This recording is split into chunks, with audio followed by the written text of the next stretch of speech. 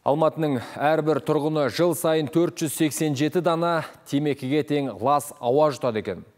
Алматы Air Initiative зерттеушілері бұл әр адам жылына 24 қорап шылым шеккенмен бірдей дейді.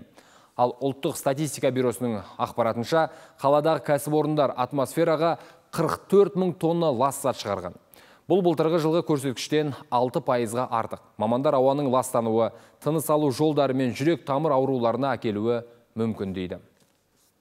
Одно из исследований, которое мы провели, это оценка качества воздуха. Мәселен, былтыр әр тұрғын тәулігіне бір темекіге тең ауа жұтса, биыл бұл бір жарымға өскен. Біз мұндай зерттеулерді жүргізу үшін кларити ластаушы заттардың мониторинг желісі мен ғылыми зерттеулердің 2023 жылғы деректерін пайдаландық. Нәтижелерімізді министрлікке сондай қаладағы экология департаментіне бердік.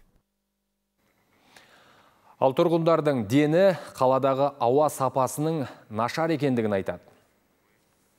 машины.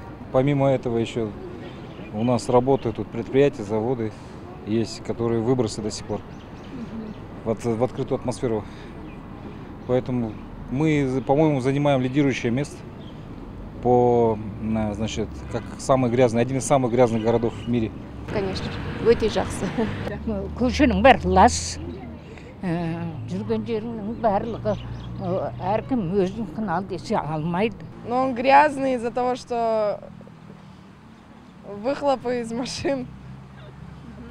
Ну вот этим мы дышим